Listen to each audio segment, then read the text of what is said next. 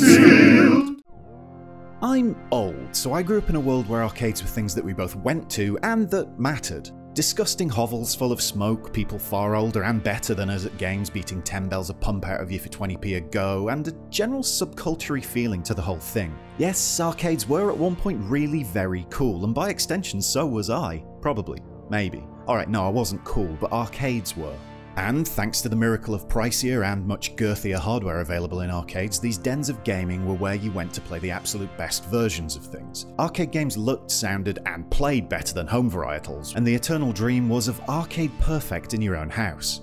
It happened sometimes, even before the Dreamcast. It did, I'm not lying. Look, Golden Axe on the Amiga was arcade perfect, yeah? I mean, alright, it wasn't, not technically, but in my mind it was. But sometimes it went beyond. Some games came to home systems with more added features and characters, levels, modified mechanics, even the graphics could be better. Mind blown. How could a home gaming machine spit out something better than what you got in Namco Wonder Park at Meadowhall? Wait, need to be less specific with that reference. Um, how could a home gaming machine spit out something better than your local arcade?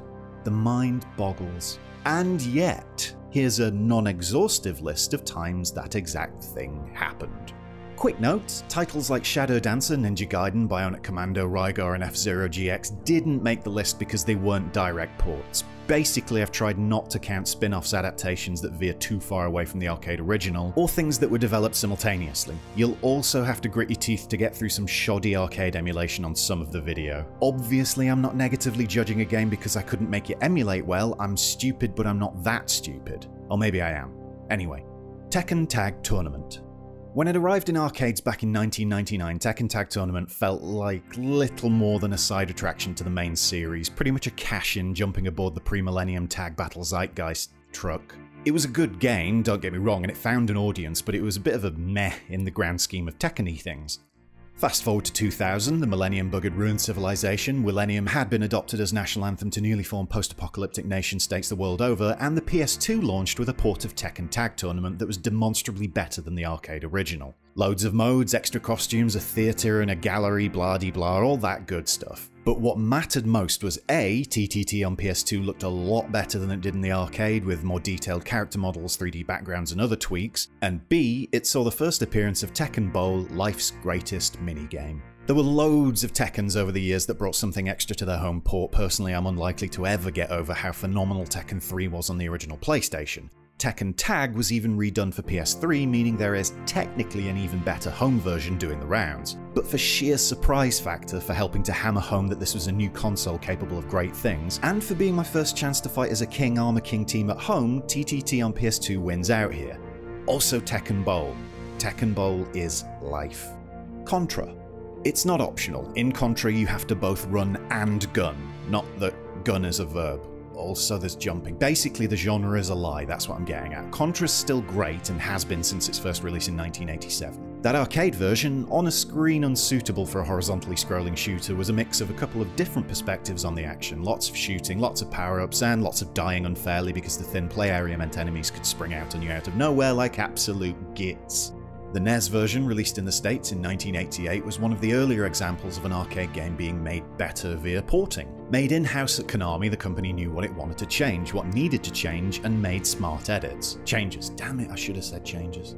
Right, so Contra on the NES wasn't big on new modes or characters. It looked quite obviously poorer than the arcade version and it didn't differ hugely from the template laid out in the coin-op. But clever changes made it the better game. Levels were extended and chopped up into separate pieces, lengthening the game a fair amount, while controls were tightened to the point it actually made the arcade original feel slow, like your angry man with a gun was wading through war treacle the entire time. If you go a bit further afield, you'll find Gryzor, the Japanese Famicom release of Contra. Thanks to some technical stuff, namely an extra chip powered by hopes and dreams in the game's cartridge, Gryzor had features beyond the US version. Cutscenes, maps, trees billowing in the wind. It's pretty cool. You should check it out. Contra on the NES was one of the earliest examples of a home conversion bettering the original, and it's still superb today. And hard. So very hard. Daytona, USA.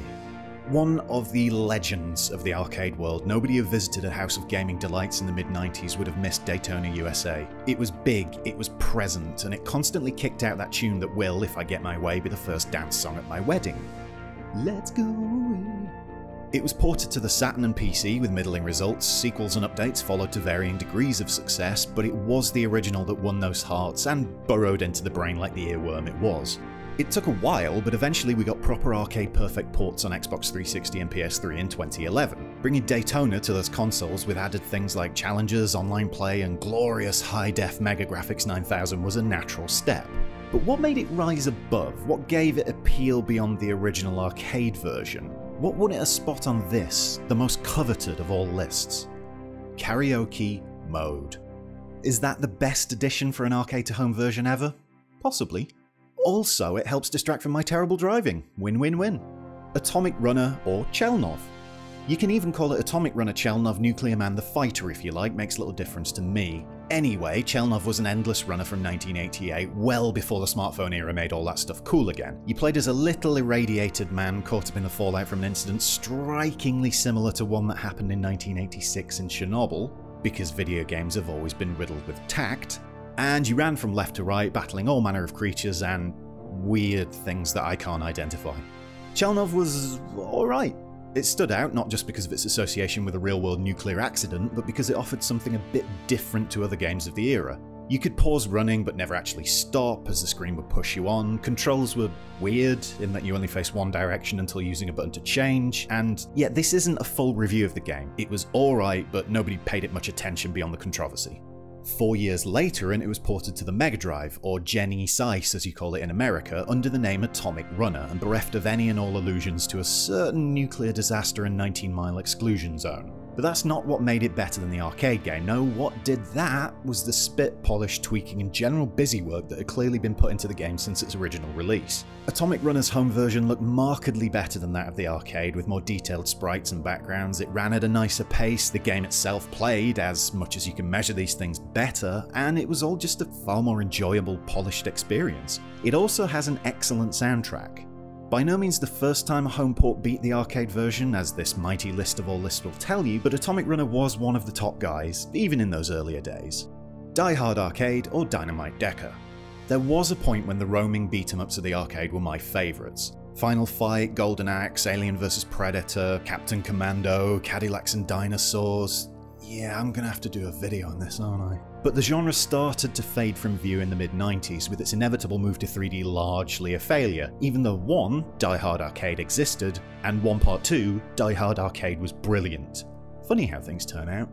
Mixing what I'd say was a simplified Virtua Fighter combat system with early QTEs, a plethora of usable weapons, the Die Hard license, obviously, and a general light-heartedness to proceedings, DHA, as all the cool kids never called it, should really have seen a continuation in the popularity of the genre. It was good, it was great, the genre still died. Ten years after DHA's 1996 release, a version appeared in Japan on the PS2. Part of the ludicrously overlooked Sega Ages 2500 series, Dynamite Deka, its licenseless Japanese name, was an Arcade Perfect Plus port of the game that should have saved a genre. There was a Saturn version, and that was spot on to the arcade, but did nothing beyond the original. It was also developed in tandem, so is disqualified thanks to my harsh rules. The PS2 version updated the graphics, sound, and music, added new modes, allowed you to dress up as Axe Battler from Golden Axe, and made you fight Death Adder, threw in one hit kill modes and arrest modes, added a different bonus game, and, on top of all this effort, included the original Saturn and basically the arcade version. It was a robust package. Sequel Dynamite Cop gets a special mention for carrying the torch, minus any John McClane vests, but I'm sticking with Dynamite Deka as one of my favourite examples of the home version providing so very much more than the arcade or original Saturn version could. This ranks highly in my favourite ever arcade conversions ranking list rank. A spiffing honour, no doubt. Castlevania. There was an arcade spin off of Castlevania in 1988 called Haunted Castle, and a more recent light gun game, but neither of them have directly comparable home versions. No, this one's a bit different, but hey, my video, my rules, my life, stop judging me. VS Castlevania. Versus Castlevania? Versus Castlevania? I have no idea. Anyway, this went the other way around, just to keep you on your toes. The original Castlevania came out on NES, NES, in 1987, a year after its original release on the Famicom Disk System. It was, as you may be aware, brilliant. Hard, as my limited playthrough shows, but brilliant. Rewarding exploration and experimentation, it was far deeper than many platformers and action games of the time, and has gone down in legend. It even has a genre half named after it Castle Royale. Wait, Metroidvania, that's the one. Thing is, it was this version that was actually brought to the arcade in the Versus system, a thing Nintendo set up whereby arcade cabinets housed basically NES guts and played NES games, and oh, I can picture so many of your faces as I keep saying NES, and it makes me so happy. Anyway, yeah, basically it was home games in the arcade. So why was the home version of Castlevania better? Simply because it was made to be played at home, in your own time, and not in a machine designed to rip as much money from your pockets as possible. Versus Castlevania had a shorter time limit, so you were constantly rushing through levels, rewarded players with fewer hearts, so less ability to use abilities, and, most irritating of all, the already hard game was made much harder as enemies did double the damage of the home game. An exercise in cynicism by Nintendo? Say it ain't so. And yet, it not ain't. It isn't, it isn't, ain't, it is so. Crazy Taxi. Once again, it's a video featuring the game with that music you can't actually use on a YouTube video or it'll all get shut down by those fat cats at City Hall. I don't know what I'm supposed to be protesting against here, I'm just trying to join in. Anyway, Crazy Taxi did indeed release first in the arcades back in 1999. A twist on the regular coin-op format of putting a quid in, up from 20p, and watching a timer count down from 3 minutes to 0, it instead offered a starting time limit and the chance to extend it indefinitely by picking up and delivering passengers to their destinations as quickly as possible. Oh, it was really good too. I mean, you can have all the smart mechanics in the world, but if it isn't fun, it doesn't matter. Crazy Taxi was fun and very successful in the arcades. It also ran on the Naomi hardware, meaning it would be a simple case of, I don't know, flicking some switches and lighting a ceremonial candle or something to port it to a Dreamcast. Fortunately for everyone in existence, Sega went a little bit further than hot wax with its port. While Crazy Taxi in the arcade could last longer than the usual short burst experiences those gaming boutiques tended to provide, it was still a fire and forget thing. Playing at home is a different concept, and it's to Sega's huge credit it understood this and modified the game accordingly. Crazy Taxi on Dreamcast added the ability to choose your own time limit or stick with the original countdown, threw in mini games to keep challenging players and to help them work on special skills, and best of all, added an entire new city map to explore. It all came together to make for a wonderful home version of the greatest Uber driver simulator ever made. Teenage Mutant Ninja Turtles Turtles in Time. Much as it pains me to not say Teenage Mutant Hero Turtles, what can you do? So this was an arcade sequel to the 4-player beat 'em up you all loved if you're of a certain age. You know, when things start aching for no reason, young people start doing things you literally do not understand, and the changing price of beans begins to genuinely matter. If you're in that same demographic as me, you played Turtles Arcade. Turtles in Time was more of that, basically, but with time travel. It was good fun, but a classic cash stealer in the most part. Inevitably, a year after the arcade game's 1991 release, Turtles in Time arrived on SNES, and bar a graphical downgrade and the loss of four player mode, but then who has three friends anyway, right guys? It happened to be better than the arcade original. And who saw that coming in this of all lists? Literally nobody. Adding new modes, namely Versus and a time trial, in an era when this simply didn't happen in arcade conversions was a big part of it, and bringing back Bebop and Rocksteady, for some reason not in the arcade game, was fan service in a good way. On top of all this though, was a game that had been tweaked respectfully, making it play less like an arcade game somewhat cavalier in its attitude towards your pocket change, and more like a game you play for longer sessions at home. Attacks felt tighter with more accurate hitboxes, entire levels were changed, sewer surfing became less of a chore on SNES, an entire level was added, bosses were tweaked or introduced, you got the Rat King on SNES. How could anyone even think the arcade version was better? I'll give the Hyperstone Heist on Mega Drive a shout out because I'm kind like that and it was the one I played more as a kid, but it not being an actual direct port of Turtles in Time, as well as not being as good as the SNES game Sorry Please Don't Kill Me, disqualifies it from the running. Cowabunga, dudes. Mars Matrix. Apparently Mars Matrix is a storyline that goes beyond half a sentence, and that surprised me more than pretty much anything else in my life, truth be told. I admire the moxie of Takumi, the game's developer, for going down the route of attaching some entirely pointless text to a game literally just about shooting a lot of things and trying in vain to avoid the even more things they shoot back at you. Games are art. A bullet hell shmup from 2000, subtitled Hyper Solid Shooting because of course, Mars Matrix offered a nice little combo mechanic that it took me longer than I care to admit to cotton on to. Clue? Collecting the cube things enemies drop extends your combo time, meaning kills bag more points, meaning you get a higher overall score. It wasn't the best the genre had to offer, but was really good fun all the same. So it was quickly ported to Dreamcast and forgotten about, right? Well, no, Mars Matrix saw an arcade to home port again understanding what players in the living rooms, bedrooms, outhouses, joy chambers, wherever they played it, would want. more substance, as well as fixing the scoring system, which could be maxed out at 999 billion in the arcade version, Takumi added a bunch more. Like an arrange mode, mixing up enemy patterns and forcing you to learn levels as if they were completely new, well, apart from the bosses. Strategy mode, which offered replays of levels to show you how best to do them and to point out to idiots like me how the combo system works. A high score challenge mode, and a shop to spend your hard earned points set for things like more lives and continues, the ability to tweak specific settings, stuff like that. I don't think it's up there with the best games ever, but the home port of Mars Matrix was a fine example of what to alter and how to do it in order to make it something people would actually bother playing more than once.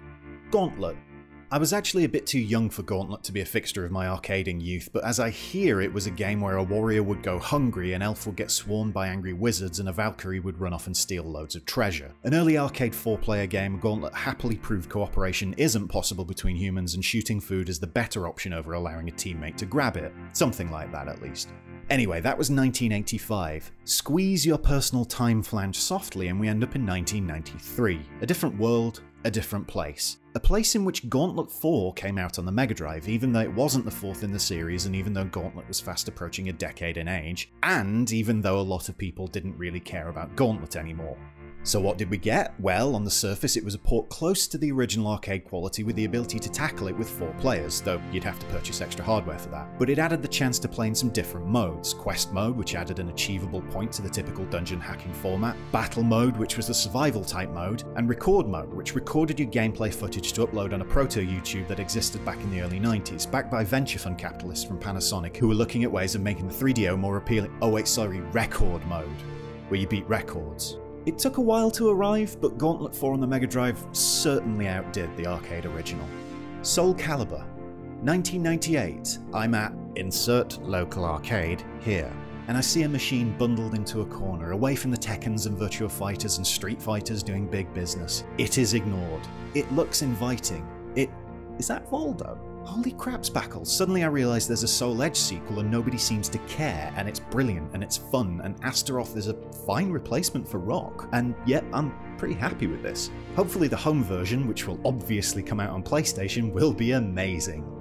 1999. I don't have a Dreamcast, but I hate everyone who does because they all seem to own the best launch title of all time, Soul Calibur, which didn't actually come out on PlayStation because Namco hates me apparently, Except, in hindsight, it's a very good thing this classic weapon em up made its way to Sega's ill-fated console, because it meant Namco did the business. The home port looked so much better than the arcade version, including a new character Cervantes, team battles, galleries, and a wonderfully engrossing mission mode. It was and is the absolute gold standard of arcade to home ports, and it was hard to make this video because I just wanted to sit playing Soul Calibur on Dreamcast all day. The difficulties I go through making these videos for you. Soul Calibur 2 is another one that was better at home than in the arcade, and you can't chat about this without mentioning Soul Edge or Blade on the PlayStation since it kicked the whole thing off. But the leap in quality between arcade and Dreamcast for Soul Calibur was so vast, so impressive, I think it left physical scars on my brain thanks to its brilliance. That or I've fallen out of bed too many times. And that's just some games that were better at home than in the arcade. It's never going to be all of them, is it? I'm sure you'll tell me everything I've missed in the comments, as well as screaming, what about Midway Arcade Treasures, or whatever, but I mean, that's just a compilation, which is nice, but it's just all the originals on one disc, you know? Anyway, yeah, add your suggestions. Unless it's Mortal Kombat Gold, which deserves no place on this or any list unless it's a list of hate. If there's enough that aren't MK Gold, there could be another video on this, especially because playing arcade games is fun. Thanks for watching, do like, share, subscribe, and dream of a world where we used to stand in a darkened, smoky room together, throwing ever increasing fractions of the pound sterling into machines in order to try and last longer than 30 seconds against some bigger boys who were always better than us. As has become customary, I'd like to mention my Patreon here. I have one, and if you wanted to chip in to support my work on this channel, that would be amazing. You'd be able to join the likes of these few, who I love dearly. Or, with a bit of a higher contribution, you could join the ranks of these folks who I also love dearly because they help my flat keep on being a flat and not a bin. Video Brains, or Jake Tucker, Takara Hoshi, Robbie Sabo, Lola Osman. You're all the best, much love. Bye!